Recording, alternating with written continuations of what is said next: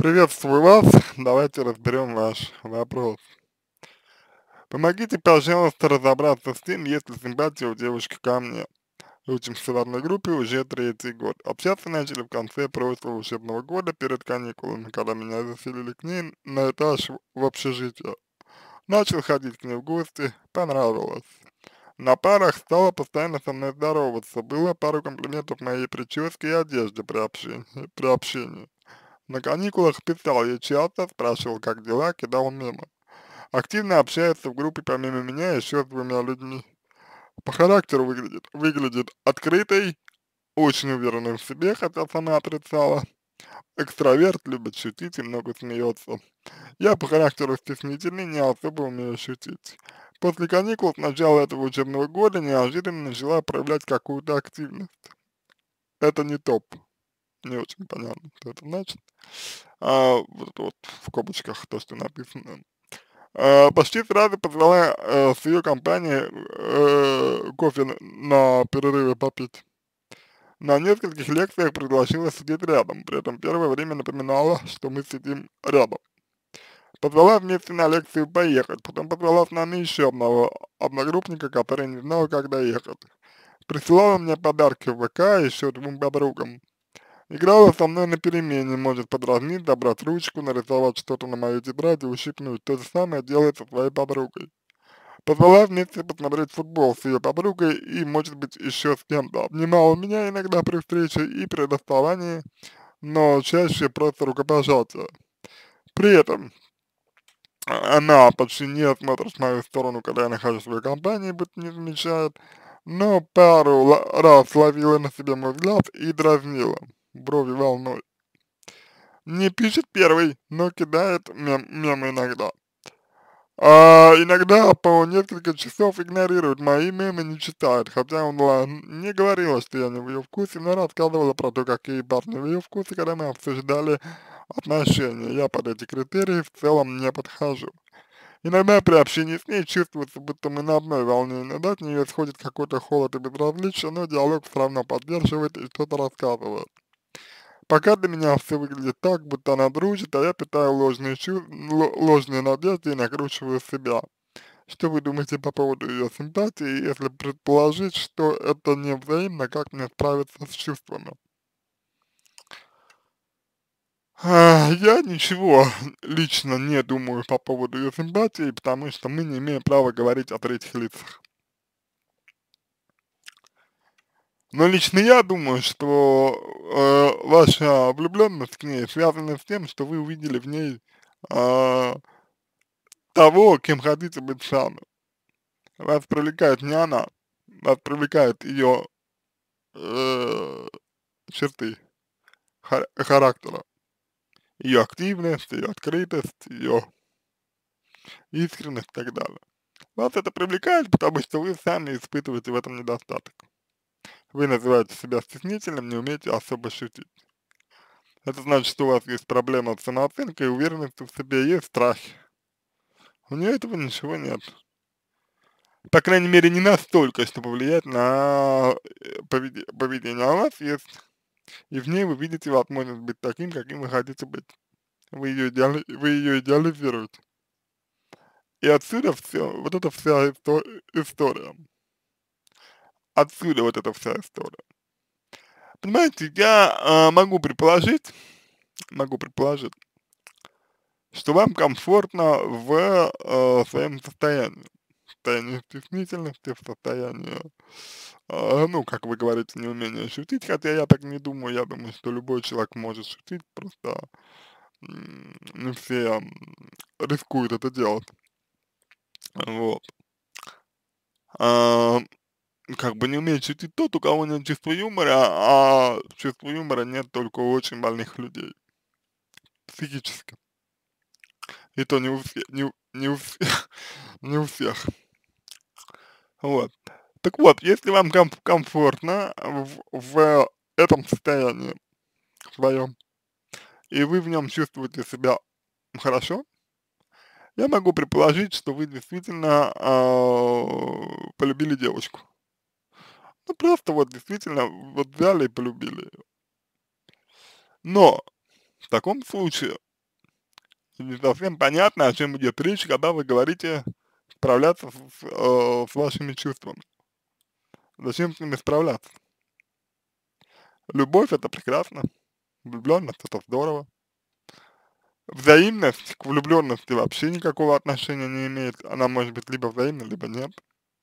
Она может появиться потом, я имею в виду взаимность, может не появиться, не появиться вообще. Вот. Понимаете, зачем справляться с чувствами? И вот здесь мы подходим к вопросу вашей ценности. То, что ваши чувства причиняют вам боль, если они не взаимны. А это значит, что они не ценны, а это значит, что вы не ценны. А это значит, что вы подвергаете свою ценность сомнению. А это значит, что за счет девушки вы пытаетесь эту ценность повысить. Вот и вся история. Как мне она видится, по крайней мере, вот если, эм, как бы, ну, если давать какую-то обратную связь. Поэтому вам не надо с вашими чувствами справляться. Вам нужно поработать со своими комплексами, самооценкой, страхами, посвободнее стать, вот, на других девушек внимание обратить. И вы, и вы увидите, кому на самом деле вы испытываете чувства. А, когда и если вы будете над собой работать, то есть займетесь психотерапией, то вы сможете сказать девочке о своих чувствах, если это все-таки любовь. Да, вам будет больно, если она, если она вам э, скажет нет. Вам будет больно. Но вы с этой болью, э, вы с этой болью справитесь. Не в смысле справитесь, подави, подавляя ее, а в смысле справитесь, проживете ее. В этом не будет ничего страшного. В этом не будет ничего критического. В этом не будет ничего ужасного. Это будет абсолютно нормально. Это жизнь. Понимаете? А вот как-то, как-то, как-то так, я думаю, можно ответить вам, вам на вопрос. Вот, а, понимаете, в чем штука? Я предлагаю вам э, э, спросить у себя следующее. Вот когда вы говорите про любовь э, к ней, да, ну или про влюбленность, на что она нацелена? Чего вам хочется, хочется в этой влюбленности? Тут только честно, честно себе ответьте. Чего хочется? Это ответ. Это ответ на вопрос на ваш. Я не буду говорить, что эм, что именно, э, какие варианты что означают, но просто задайте себе вопрос. Честно. Честно ответьте себе на него. И, посмотри, и посмотрите, про что и про кого там идет речь. И вы увидите правду. Ну, субъектив, субъективную, конечно. Безусловно, вы можете испытывать симпатию к девушке. Безусловно. Безусловно, э, вы можете э, чувствовать искренне к ней некие чувства. Но как это связано со, взаим... со взаимностью? Как это связано? Как это связано с тем, что вы собираете факты о ее активности к вам и неактивности тоже к вам? Как это, как это все связано между собой? Спросите себя об этом. Ведь э, вы же не будете спорить с тем, что вас как будто бы больше волнует ее взаимность, чем ваши, ваши чувства. То есть у меня чувства появились, а я фиксируюсь на том, взаимны они или нет. И если не взаимны, то я должен эти чувства подавить. Вы себя запихнули в ловушку, в ловушку собственных страхов, в ловушку ваших конфликтов, э, за которые девушка ответственности не несет. Ну, она похожа на искреннего человека, порывистого.